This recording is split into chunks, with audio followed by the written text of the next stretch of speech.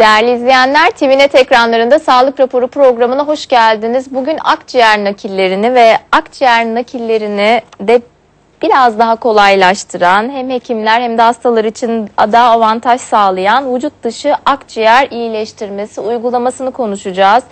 Türkiye'de yeni uygulanmaya başlayan e, henüz başlangıç aşamasında bir yöntem. Bu konu hakkında da bizi doçent doktor Cemal Asım Kutlu Kartal Koşuyolu Yüksek İhtisas Hastanesi Göğüs Cerrahisi Eğitim Sorumlusu Göğüs Cerrahisi uzmanı doçent doktor Cemal Asım Kutlu bilgilendirecek.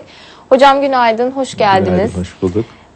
Bugün ilginç ve güncel bir konuyu konuşacağız. Yeni bir konuyu konuşacağız daha doğrusu. Akciğer nakli bekleyen hastalar için ümit aslında. Yani akciğer nakilleri yapılıyor Türkiye'de sayısı az olsa da ama daha çok nakil yapılabilmesini sağlayacak yöntemlerden biri. Bunu sizden detaylarını öğreneceğiz çünkü hepimiz için yeni bir konu. Burada sizin bilgileriniz hepimiz için aslında hem sağlık basını için hem de e, izleyicilerimiz için yönlendirici niteliği olacak. Estağfurullah. Ama önce şöyle başlayalım hocam isterim. Ee, akciğer hastalıklarını genel bir tanımlayalım ve nedenlerini tanımlayalım isterim. Ondan sonra teker teker akciğer hastalıklarını geçelim ve nakil durumlarına da devam edelim. Tabii. Akciğer hastalıkları tabii ki vücudumuzda pek çok organda olduğu gibi sebebini kısmen bildiğimiz, bazılarını bilemediğimiz pek çok hastalıklar e, kapsıyor. E, tabii ki akciğerin diğer organlara göre biraz daha farklılığı dışa açık olması ve dış etmenlerden de çok etkilenmesi. Dolayısıyla akciğer hastalıkları deyince dışarıdan da gelen bir takım e, etmenlerle gelişen hastalıkları da e, bunun içinde değerlendirmek gerekir. Yani işte bu e, maden ocaklarında çalışılan, sigara içilen, işte bir takım ağır endüstriye maruz kalan insanlarda görülen akciğer hastalıklarını kastediyorum. Dolayısıyla çok geniş bir e, hastalık grubu esasında akciğer hastalıkları. Tabii eğer akciğer naklini konuşuyorsak bunun içerisinde çok daha dar bir grup ancak akciğer nakline Bütün uygun akciğer olabilir. hastalığı grubuna girmiyor nakil için uygun hastalar herhalde değil Tabii mi? ki. Yani burada genel olarak şöyle bir şey söylüyoruz hastalarımıza biz. Yani bu akciğer nakli olacak kadar kötü olması lazım akciğerlerin. Evet. Ve böyle büyük bir cerrahi kaldıracak kadar da vücuttaki diğer sistemlerin iyi olması gerekiyor. Dolayısıyla bu hastalıklar pek çoğunda diğer sistemler de çok e, derinden etkilendikleri için böyle bir ameliyata aday olamıyor bu hastalarımız. Dolayısıyla bu ayrımı iyi yapmak lazım. E, dolayısıyla akciğer nakli gerekecek hastalık grubu tabii ki diğerlerine, bütünün içine bakarsanız küçük bir grup tabii ki. Küçük bir grup hocam. O zaman özellikle akciğer nakilleri akciğer nakli olabilecek akciğer hastalıklarıyla başlayalım isterim. En Nasıl? başta koa geliyor ve Türkiye'de gerçekten çok fazla sayıda koa hastası var. Koah'tan biraz bahsedelim isterim. Daha sonra diğer akciğer hastalıklarına nakil olabilecek akciğer hastalıklarına devam edelim. Valla tabii koahtan ne kadar bahsetsek aslında az bahsetmiş oluruz. Evet. Yani ne kadar bunu vurgularsak e, az vurgulanmış Hocam olur. kaç e, Türkiye'de sayısı şu anda koalı hastanın? E, Valla milyonlarla ifade istatistikleri? Evet. ediliyor. Yani e, koa hastalığı gerçekten birçok diğer hastalıklarla da karıştığı için tam rakam bilmek mümkün değil ama gerçekten çok ciddi oranda bir e, koa grubumuz var maalesef. E, ve tabii ki burada esasında tabii ki e, gerçekten vurgulanması gereken şey şu ki bu koa önlenebilir bir hastalık. Yani e, hep şu söylenir, insanlık sigarayı keşfetmeseydi, bulmasaydı, sigara hiç insan hayatına girmeseydi, bu koa bizim çok nadir gördüğümüz, çok alt sıralarda bilinen, çok hakikaten e, pek çok insanın belki de e, hayatı boyunca görmeyeceği çok bir e, ender görülen bir hastalık olacaktı. Ama maalesef öyle olmadı. Sigaranın hayatımıza girişiyle beraber tabii ki bunun için ek olarak modern yaşam şekil şartları, büyük şehirler, e, şehirlerdeki hava kirliliği vesaire he- hepsini de kapsıyorum ama tabii ki e, sigara bunların en bir önünde gelen faktör ve sigara içimi kaçınılmaz olarak bir aşamadan sonra koa olmasını sağlıyor. Biz akciğer kanseri, aa sigara mı içtin diye hemen söyleriz ama aslında sigara koa olarak da koa hastalığı olarak da kendini çok gösteren bir hastalık. Yani hocam koa hastalarının hemen hepsi sigaradan dolayı bu hastalığı yakalanıyor. Bunu net söyleyebiliyor muyuz? Büyük oranda, çok büyük oranda Onun dışında koahın görüldüğü durumlar son derece ender. Önlenebilir olması sigara içmemek. Yani bu kadar aslında net ve basit. O kadar basit. Şimdi sigara içmek bir özgürlüktür deniyor. Bu tartışmalar var. Hep basında da okuyoruz. Halbuki bunun topluma getirdiği çok büyük bir maliyet var. Siz gerçekten erişkin, üretken pek çok insanın bu hastalıktan muzdarip olması sonucunu doğuruyor ve onların gerçekten ciddi bir e, tıbbi bakıma ihtiyaçları oluyor. E, koa- bu çok uzun yıllar devam eden bir şey. Koa uzun yıllar gerçekten hem hasta için hem ailesi için ciddi bir yük. Psikolojik, Sosyal bir sorun aslında Sosyal bir sorun, yani. maddi manevi yük oluşturan Aynen bir şey. öyle. Burada geç tekrar sigaranın özellikle koahın nedeni olduğunu vurgulayalım. Çok hocam sigara hakikaten akciğer kanserini bir kenara koyuyoruz. Koa milyonlardan bahsediyoruz. Çok ciddi bir rakam. Müsaade ederseniz şunu söyleyeyim. Yani koa anlamda bir hastalık belki sayılmayabilir. Uzun yıllar sigara içmenin doğal bir sonucu aslına bakarsanız yani. Dolayısıyla biliyoruz ki belli bir mazuriyetten sonra dumana, sigara dumanına bu zaten zaman içerisinde gelişecek. Bu kaçınılmaz bir şey. Ve koa hastaları da nakil bekleyecek hastalar grubuna giriyor. Bir kısmı onun tabii kriterleri var. Mutlaka. Onları da size akciğer nakillerinde soracağım. Hocam akciğer hastalıklarından bir diğeri de bronşiektezi ve kistik fibroz. Bu nedir? Biraz bilmeyen izleyicilerimizi açalım. Akciğerde kendini nasıl gösterir? Nasıl belirtilerle gösteren bir hastalık? Şimdi e, bunlar aslında tabii karmaşık hastalıklar. Yani kistik fibroz doğuştan gelen, e, anne babadan alınan e, bir hastalık ve vücutta diğer sistemleri de etkileyebilen bir durum.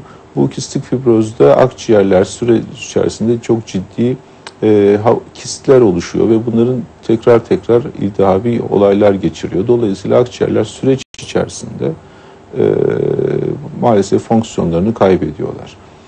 Ben e, bizim öğrencilik yıllarımızda bu kistik fibrozun Türkiye'de çok az olduğu söylenirdi. Fakat sonraki yıllarda bilgiler geliştikçe özellikle çocuk göğüs hastalıkları uzmanlığı daha çok e, Türkiye'de gelişip e, ilerledikçe bu hastalığın aslında çok daha az olmadığı çıktı ortaya.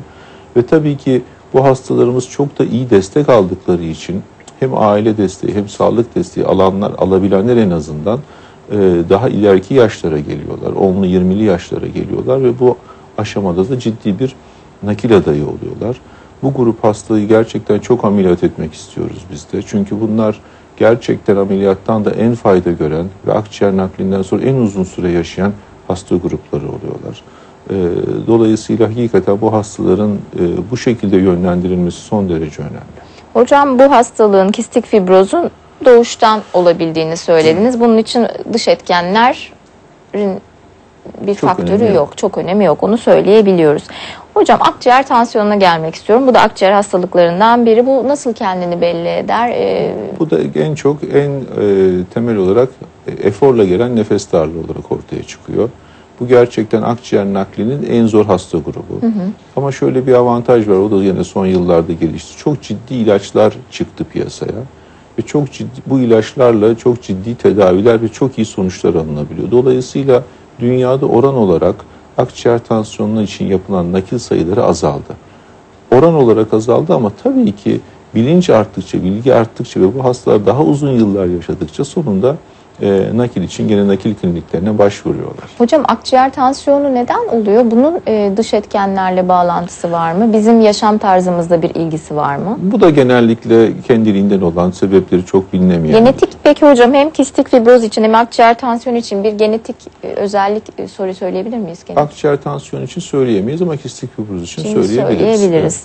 Hocam akciğer tansiyonu daha nadir duyduğumuz bir şey Çok. aslında. Oranlar nedir Türkiye'de? Bununla ilgili rakamlar var mı elimizde? Gene e, çok yani gene binli rakamları söyleyebiliriz. Yani bunu takip eden merkez sayısı da az. E, gerçekten uzmanlık işi. E, bunu ancak o konuyla ilgilenen insanların kullanabileceği bir e, yapabileceği tedaviler ve kullanacağı ilaçlar açıkçası. Dolayısıyla bu merkezlerde en e,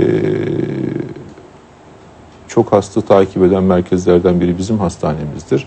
Bildiğim kadarıyla 350 sayısı, 350'li rakamlar yani 350-400 civarında bir rakamda hasta takip ediliyor. Hocam mesela akciğer tansiyonu hastalıklı hastalar yaşamları nasıl idame ettiriyorlar? İlaç kullanıyorlar tabii İlaç düzenli ya da beklenen yaşam süreleri ne oluyor genelde bu hastalarda? Valla ilaçlarla eğer ilaçlarla kontrol altına alınabilirse ciddi te- e, süreler e, sağlanabiliyor bu hastalara. Zaten akciğer nakli için e, bize gönderilen hastalarda bu ilaçlarla kontrol edilemeyen tansiyonlar. Özellikle bu kalbin sağ bölümünü çok ciddi etkilediği için ona bağlı olarak bir takım e, kalbe bağlı problemler çıkıyor ve ondan dolayı da hastalar gerçekten çok sıkıntılı bir döneme giriyorlar. Dolayısıyla bunlar gelişmeden eğer o yola girmişse hasta bir an önce nakil için düşünülmesi Her gerekiyor. zaman ilaçlarda yaşamı rutin olarak, e, düzgün olarak sürdürmemize yetmiyor maalesef, Maalesef. bu hastalığı taşıyorsak. Hocam bir diğer akciğer hastalığı akciğerin sertleşmesi. Bundan ne anlayalım? Bunun gene belirtisi nedenleri nedir? Gene oranlar nedir Türkiye'de? Ee, şimdi akciğerin bir süngeri, sünger gibi bir organ olduğunu düşünürsek bunun belli bir yumuşaklığı var. Ve belli bir çatı içinde çalışan, belli bir işte e, yumuşaklığı olan ve onunla bizim nefes alıp verebildiğimiz sürekli hareket eden bir organ akciğer. Akciğerin çatısında bir takım sertleşmeler, o, o çatı dokusunun artışı akciğerin daha sertleşmesine, o süngerimsi kıvamdan daha lastik kıvamına doğru değişmesine sebep oluyor. Bu da hastalarımızın nefes alırken ki harcadığı eforu arttırıyor zaman içerisinde. Bunu bak, pek çok hasta belki uzun zaman fark etmiyor ama bu çok yavaş ilerleyen bir süreç. Bir aşamadan sonra gerçekten ciddi nefes darlıkları özellikle gene eforda ortaya çıkıyor ve tetkiklerinde böyle olduğunu görüyoruz. Bu hastaların bir kısmı çok yavaş seyrediyor, bir kısmı çok hızlı seyrediyor. Gerçekten bunu önceden öngörmek mümkün değil.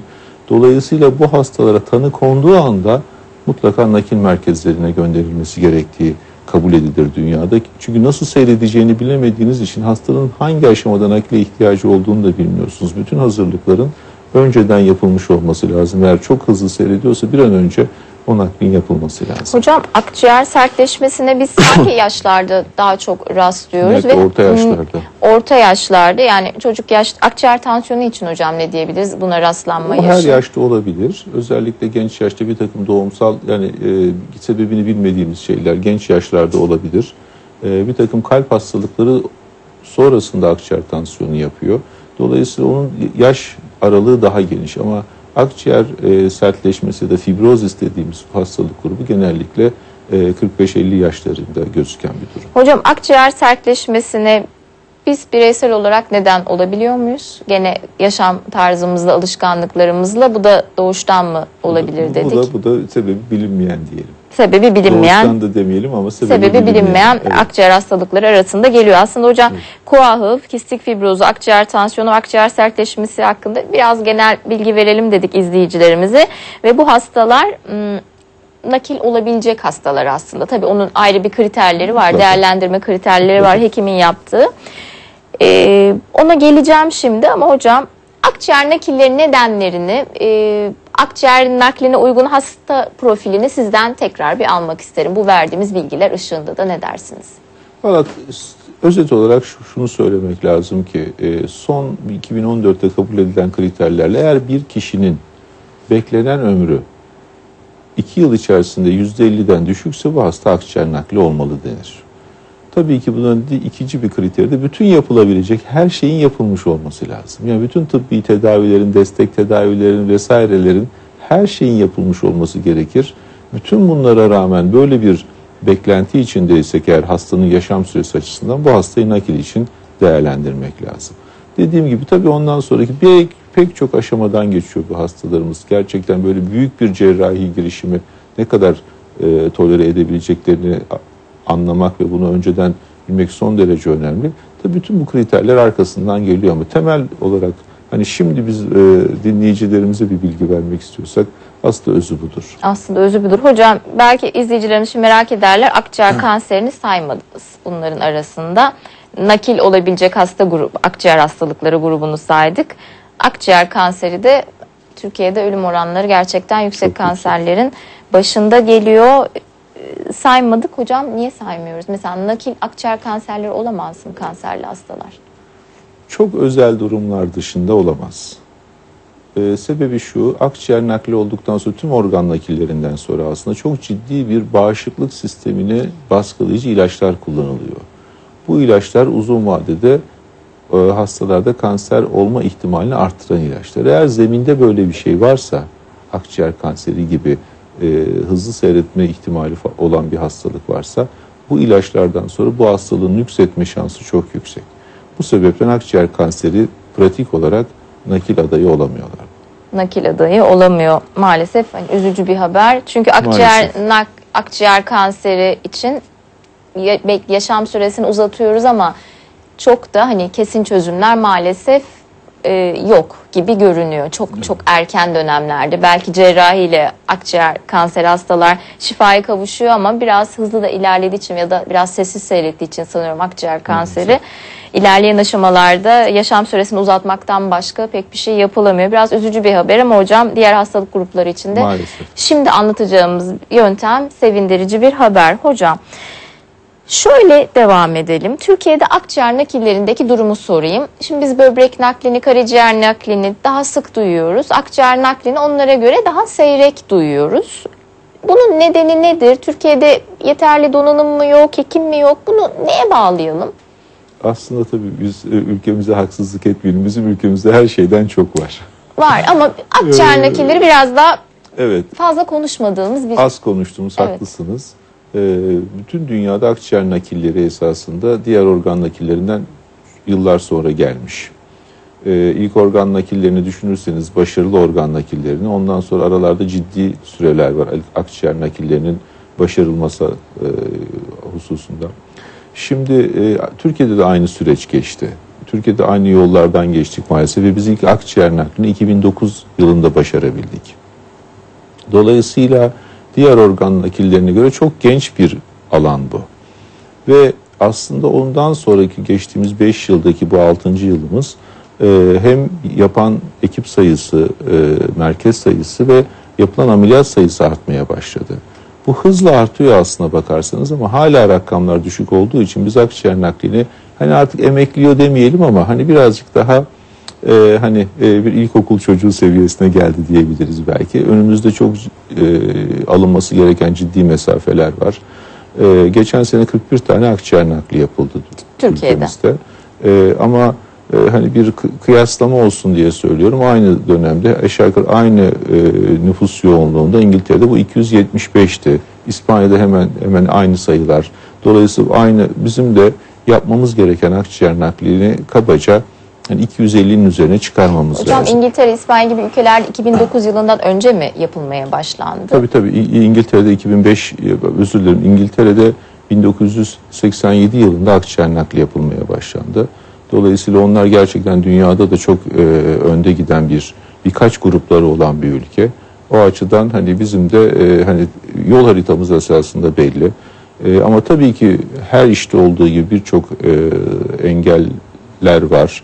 Bu engeller de aslına bakarsanız çok ciddi şekilde çözülüyor. Yani bakanlığın bu konuda inanılmaz bir desteği var.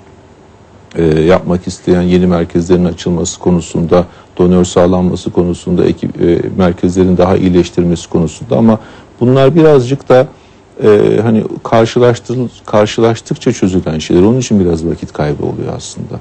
Hani masaya oturup da bütün sistemin sıkıntılarını bir şekilde çözemiyorsunuz. Bunlar biraz da deneyimle ortaya çıkıyor ve çıktıkça çözülen şeyler. Hocam akciğer nakline kimler uygun diye sorsam çok genel bir şey sormuş olur muyum? Yani ilaçla işte koa hastası, akciğer tansiyonu olan, akciğer sertleşmesi olan, fikistik fibroz keza hastaları olanlar hepsi uygun değil. Burada e, nakil için uygunluğu hastayı nasıl değerlendiriyorsunuz? Kriterleriniz neler diye sorsam. Tabii esasa göre biraz önce söylediğim gibi e, bu çok büyük bir cerrahi girişim. Dolayısıyla bu cerrahi girişim için e, Vücudun uygun olması bütün sistemlerin kalbinin, uygun olması karaciğerin, lazım. böbreğin insanların uygun olması ondan sonraki bu ağır tedavileri de tolere edecek kadar iyi olması lazım.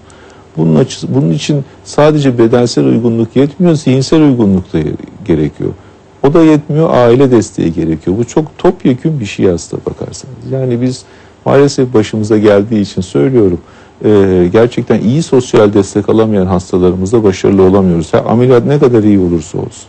Çünkü bu hastalar hastaneden çıktıktan sonra bir e, evde yaşayacaklar. işte belli bir yeme içme e, şartları olacak vesaire. Bunları sağlayamazsak uzun dönemde maalesef birçok problem çıkıyor gibi. Bu şartların olduğu durumları e, oluşturmak lazım ve bunların olan hastaları olabildiğince seçmek lazım. Çünkü akciğer sayısı az, donör akciğer sayısı az, bekleyen insan sayısı fazla. Do- Hocam niye donör akciğer sayımız? Şimdi biz böbrek için, karaciğer için çok ilerlemeler var. Çok da az önce de söyledik sık duyuyoruz. Donör sayımızı da arttırmak için özellikle kadavradan donör sayısını arttırmak için uğraşıyoruz. Akciğer için biraz daha farklı mı işliyor bu sistem? Akciğer e, bütün dünyada bütün donörlerin aşağı yukarı %25-30'u kullanılabiliyor. En iyi merkez, en gelişmiş ülkelerde dahi. Akciğer çünkü beyin ölümü olduktan sonra süreçte etkilenen bir organ. Ve akciğer beyin ölümü olduktan sonra bozulmaya başlıyor. Çok daha kısa sürede. Çok daha kısa sürede bozulmaya başlıyor. Bir takım başka faktörler giriyor işin içerisine. Dolayısıyla akciğerler ne kadar iyi bakarsanız bakın siz donöre, akciğerlerin bir kısmı otomatikman kullanılamaz oluyor. Dolayısıyla bu oranın mümkün olduğu kadar yükseltilmesi lazım. Yani beyin ölümü sayısı artacak, e, bağışlanan organ sayısı artacak ve bu organ sayısı içerisinde de kullanılan akciğer oranı artacak. Evet. Tabii bunlar için hakikaten zaman geçiyor ama biz gerçekten ülkemizde bu konuda çok ciddi mesafeler kat ettik ama ger gene de dediğim gibi daha uzun bir yolumuz var gidecek. Uzun bir yolumuz var ve akciğer nakli, akciğer donörü biraz daha sürecin çok daha hızlı ilerledi. Belki çok daha hızlı hareket edilmesi gereken bir nakil türü herhalde değil mi? Beyin ölümü gerçekleştirdikten sonra biraz da bunu anlıyoruz. Çok daha disiplin Yani çok hızlı şöyle söyleyelim. o Biraz donörün- hani daha çabuk bozulmaya, işlevini Tabii, yitirmeye e, başlıyor dediniz Baş- beyin evet. gerçekleştirdikten sonra. Orada farklı bir e, sistemle herhalde sürecin işlemesi gerekiyor galiba. Bir de tabii ki önceden beyin ölümü olmadan önce de bu hastalar yoğun bakımlarda ve çok ciddi tedaviler, çok ciddi destek Hasar tedavileri alıyor alıyorlar. akciğer. Akciğerler otomatikman da oralarda hasarlanabiliyor. Siz çünkü o zaman organları değil hastayı düşünüyorsunuz. Evet. Hastanın iyiliği için her şeyi yapmak zorundasınız. Ancak beyin ölümü olduktan sonra bu sefer artık hastayı bırakıp organların iyiliğine dönüyorsunuz. Yani süreç böyle yürür ama o arada da tabii neler olup bitti, hasarın ne oldu ondan sonra ortaya çıkıyor. Evet hocam bu çok da e, sanıyorum açıklayıcı oldu. Akciğer e, nakli nakil için donör donörlerde ne gibi sıkıntılarımız olduğunu açıklamış olduk. Hocam şimdi vücut dışı akciğer iyileştirmesi uygulaması dediğimiz bir yöntem var. Siz Kartal Koşul Yüksek İhtisas Göğüs Cerrahisi Hastanesi'nde bu işlemi yapmaya başladınız. Biraz bundan bahsedelim. Nasıl bir e, ümit var akciğer nakli bes- bekleyen, kriterleri uygun olan, nakle uygun kriterleri olan hastaları bundan ne kastediyoruz? Biraz açalım. açalım. Gene e, şöyle söylemek lazım. Bir takım kriterler var. Yani bize bir organ bildirildiği zaman biz onunla ilgili birçok detayı öğreniyoruz ve sonunda ekip olarak bunu kullanılabilir ya da kullanılamaz olduğuna karar veriyoruz. Bu bazen bir telefonla halloluyor ki bu organ kullanılır diyoruz. Ya da bazen bir telefonla gene ya bu kesinlikle kullanılmaz deyip hiç e, heyecanlanmıyoruz bile. Ama arada bir gri alan var. Bu gri alan da gerçekten çok zorlayıcı za- zamanlar oluyor. E, organ pek çok açıdan kullanılabilir gibi gözüküyor bir takım problemleri var. Kullanmak ve kullanmamak konusunda biz gerçekten çok arada Tereddütte kalıyoruz. Ve e, eğer hastanın durumu iyiyse de bunları genellikle kullanmıyoruz. Çünkü bu hastaların bir kere şansı var. Hakikaten bunu riske edemezsiniz. Dolayısıyla belki hissiyatımız o organın aslında iyi olacağı, iyi çalışacağı şeklinde ama tabii ki bunun objektif kriterlerine de ihtiyaç var. Dolayısıyla bu bahsettiğiniz yöntem bizi çok heyecanlandırdı. vivo perfüzyon Evet yani dünya onu ex vivo lung perfusion diye e, söylüyor. Biz onu Türkiye'de akciğer iyileştirmesi olarak çevirdik. Yani gerçekten bu gri alanda bulunan organları nakledilecekmiş gibi alıp belli sistemlerin içerisine koyuyoruz. Belli onların özel solüsyonlarıyla vesaireleriyle birkaç saatlik bir işlemden geçirip akciğerin ne durumda olduğunu Bu değerlendiriyoruz. hocam bir cihazla yapılan bir şey. Bir cihaz mı var bununla ilgili? Mesela siz Kartal Koşul Yüksek İhtisas Hastanesi'ne böyle bir cihaz mı aldık? Bunu gri alanı, gri dediğimiz Evet. e, tam nakil için uygun olup olmadığı Esasında bu cihazı almaya uğraşıyoruz. uğraşıyorsunuz. Ee, bu normalde kalp akciğer pompası, işte bir solunum cihazı vesaireyle de yapılabilen, dünyada böyle başlayan bir iş. Ondan sonra bu cihaz geliştirildi. Tabii cihaz başarı oranını arttırdığı gibi çok ciddi kullanım kolaylıkları da getiriyor. Fakat bu cihaz yokken bunu bir e, biraz da deneme amaçlı esasında e, çok yine arada bir hastamıza yaptık ve gerçekten sonuçlar inanılmayacak kadar iyi oldu. Yani siz burada bu akciğer nakle uygun mu değil mi diye Değerlendiriyoruz. değerlendiriyorsunuz. Emin olamadığınız bazı akciğerler var. Bu sistem sayesinde emin oldunuz ve akciğeri hastaya naklettiniz. Evet. Bunu diyebiliriz. Aynen öyle. Ek olarak bunu e, şimdi bu sistemi akciğere taktıktan sonra bu sistem içerisinde akciğer 6 saate kadar e, normal ısıda tekrar e, bir dolaşımını sağlıyorsunuz. Burada gelişen bir takım olaylarla, gelişen bir takım filtrelerle vesairelerle bu işlemden geçen akciğerlerin vücuda takıldıktan sonra çok daha iyi olduğu söyleniyor dünyada şimdi. Dolayısıyla bu birazcık daha böyle sınırdakilerin o sınırlar birazcık daha yukarıya doğru çekilmeye başladı. Ne kadar çok yapılabilirse o kadar daha sonuçları iyi olacak. Elimizdeki akciğerleri beyin ölümü gerçekleştirdikten sonra bağışlanacak akciğerleri sayısını arttırıyoruz Art- ve dolayısıyla şifaya koyuşacak hasta sayımızı Kesinlikle. arttırmak için yapılan Kesinlikle. bir şey aslında. Yani biz akciğer nakli sayılarını arttırmak için her şeyi yapmalıyız elbette. Evet. Ama bu yöntemleri de kullanmalıyız. Yani öyle bakmak lazım. Daha daha çok yapmış hocam. Dünyada bu yöntemle yapılıyor herhalde değil mi? Akciğer Dünyada ilk nakilleri. bu iş 2001 yılında İsveç'te başladı. Ve ondan sonra da çok hızlı yayıldı. Hani gene İngiltere'yi biraz önce örnek verdik. İngiltere'de ilk olarak 2000, e, 2013 yılında yapıldığını düşünürseniz, özür dilerim 2009 yılında yapıldığını düşünürseniz hani dünyada bu çok hızlı yayıldı ve şimdi gerçekten e, çok üzerine konuşulan bir konu bu. Çünkü sadece organı değerlendirmiyorsunuz. Artık dünyada bu organı iyileştirici bir takım ilaçlar, tedaviler, yöntemler de kullanıyorsunuz. Yani akciğerin kapasitesini, durumunu birazcık daha iyileştirici bir takım müdahaleler yapılıyor. Dolayısıyla bu iki taraftan faydalı. Hem akciğeri daha iyi hale getiriyorsunuz hem kullanılacak akciğer sayısını arttırıyorsunuz. Nakil sonrası da hayat kalitesini arttırıcı yani daha etkili mi hocam? Yani bir sizin değerlendiğiniz bir akciğerle bu sistem olmadan, bu sistemle değerlendiğiniz akciğer nakli yapıldıktan sonra kişinin hayat kalitesi, yaşam süreci arasında da farklılıklar var mı? Uzun vadede yok. Esası bu erken dönemi söylüyorum. Hak- Hakikaten akciğerleri bir vücuda taktınız ve onlar çalışmaya başladılar. Onların ne kadar hızlı çalışmaya başlaması ve eski performanslarına ulaşması hastanın da o kadar hızlı iyileşmesi Tabii demek ki. oluyor. Dolayısıyla o sürecin kısalması açısından önemli. Hocam peki şimdi akciğer nakli bekleyen hastalarımız olabilir. Az önce bahsettiğimiz hastalıklardan muzdarip kişiler olabilir ekran başında. Ve bu sistemi duydular. Kartal Koşu Yolu'nda yapılmaya başlandı. Sanıyorum bir hastaya şu anda hasta, yaptınız ama bunu biraz bilinmesini istiyorsunuz hastane olarak, siz hekimler olarak Ee, ve hastalar biraz başvursun da istiyorsunuz. Değerlendirmek Mutlaka. istiyorsunuz bu Mutlaka. açıdan. Tabii organ varsa, akciğer varsa elbette ki. SGK geçiyor mu? Onu sorsam. Şimdi tabii ki bu e, çok e,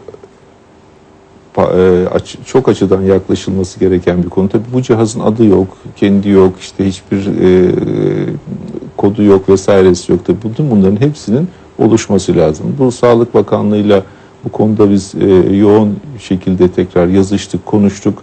E, bir maliyet çıkıyor ortaya. O maliyet analizini yapıyor, yaptı Sağlık Bakanlığı e, Mali İşler Şubesi. Diğer taraftan bu ihalelere katılabilecek şartların hazırlanması gerekiyor. Yani şunu söylemek istiyorum. Hem, hem işin tıbbi kısmı hem idari kısmı e, hem yönetim açısından e, yapılması gereken pek çok şey bir arada yürüyor. E, bütün akciğer nakli yapan merkezler esasında bunu bekliyorlar ve istiyorlar yapmak. Hani hepsiyle birebir konuştuğumuz için söylüyorum. Dolayısıyla böyle bir e, sistemin Türkiye'de bir an önce hani, e, SGK sistemi içerisinde var olması için esasında pek çok açıdan çalışılıyor. Daha uygulanabilir, kullanılabilir bir hale gelmesi hiç şüphesiz. Sizin hastanenizin, ekibinizin, hekimlerin ve Sağlık Bakanlığı'nın bu sistemin akciğer vücut dışı akciğer iyileştirme uygulamasının SGK Sosyal Güvenlik Kurumu kapsamına girmesi için çalışmaları var. Peki hocam ne kadar süreç alır sizce? Mesela yıl sonuna kadar SGK bunu bir e, geri ödeme olarak kabul edebilir mi? Valla e, biz esasında hastanemiz olarak bir takım e, elimizdeki cihazları dediğim gibi bir araya getirerek bunu yaptık. Bir de bir takım solüsyonlar var ki bu solüsyonların yarım litresi 2750 lira gerçekten çok pahalı. Hani hastanemiz bizim bu solüsyonları temin ediyor. Bunun bir karşılığı yok ama e, gene de temin ettikleri sürece biz bu sistemi bu şekilde devam ettirmek istiyoruz. Hocam ama şu özür dilerim buyurun devam edin. Estağfurullah. Ee, esasında bunun tabii ki bir, bir hani bildiğimiz sistem içerisinde hani hakikaten ödemesiyle vesairesiyle olması ancak uzun vadede devamını sağlayabilir. Yani çünkü bir, kamu hastanesi olunca tabii ki SGK kapsamında yapılsın arzu ediyorsunuz. Yani tartışmasız. Şöyle ama akciğer nakli bekleyenler e, donör şansları da olursa bir bekleme listesi oluyor normalde ki. nakillerde. Ama cepten ödemeyle şu anda gidebilecek bir sistem gibi görünüyor aslında SGK kapsamı alana kadar. Bunu söyleyebilirim değil mi? Ee, şöyle diyelim hastanenin cebinde. hastanenin cebinden. Ee, gene bu sistemi vatandaşlarımız bununla ilgili bilgi almak için hastanenize başvurabilirler. zaman. Bekleyenler göğüs cerrahisi eğitim sorumlusu kliniğinden bilgiyi alabilirler. Her Sizlere de zaman. ulaşabilirler. Tabii. Hocam yönetmenim çıkmam gerektiğini söylüyor ama son olarak göğüs cerrahısınız ama akciğer hastalarına Ramazan, Ramazan'la ilgili önerileriniz var mı? Beslenmeyle ilgili Keza sigara hakkında bir şey diyecek misiniz gene? E, tabii diyeceğim. E, gerçekten hani bu oruç özellikle uzun saatler gerçek bir hani e, vü- vücut açısından sıkıntı olabilecek özellikle yaşlıları kastederek söylüyorum. Tabii ki bir, ben de gazetelerde okuyorum pek çok öneri var. Hepsi de doğru. Benim bir tek önerim bir- eğer tedavi alıyorlarsa bunları kesmesinler. Artık çok ilaç var günde tek doz alınan. Bu ilaçlarla değiştirebilirler kullandıkları ilaçları. Ve tabii ki sigaradan hani sadece Ramazan ayında değil hiçbir zaman e, sigarayla olan ilişkilerini tekrar gözden geçirsinler. Eğer bunu bırakmak mümkünse en kısa zamanda bırakmalarını öneririm. Belki bu aylarda bu tarz sigara ile ilişkimizi tekrar aslında gözden geçirebildiğimiz bir ay. Oruç tutanlar 17 saate yakın sigara da içmiyorlar sonuçta. Belki vücudu sigarasızlığa alıştıran da bir süreç herhalde gibi görünüyor. Hocam ben çok teşekkür ediyorum. Bugün vücut dışı akciğer iyileştirmesi uygulamasından bahsettik. Akciğer nakillerinin daha çok olmasına, elimizdeki akciğerlerin vücuda nakil olması için en başarılı nakiller olması için uygun yöntemler arasında Türkiye'de yeni yapılmaya başlandı. Biz de bunun duyurusunu yapmış olduk ekranlarımızda sizlerin aracılığıyla. Çok teşekkür ediyorum. Doçent Doktor Cemal Asım Kutlu, Kartal Koşuyolu Yüksek İhtisas Hastanesi Göğüs Cerrahisi Eğitim Sorumlusunuz ve Göğüs Cerrahisi uzmanısınız. Sağ olun yayınımıza katıldığınız Ben için. çok teşekkür ederim bu fırsat için. Değerli izleyenler, Sağlık Raporu programının bugün de sonuna geldik. Haftayı tamamladık. Yayında emeği geçen arkadaşlarıma da teşekkür ediyorum. Tam iyilik halinde kalın. Hoşçakalın.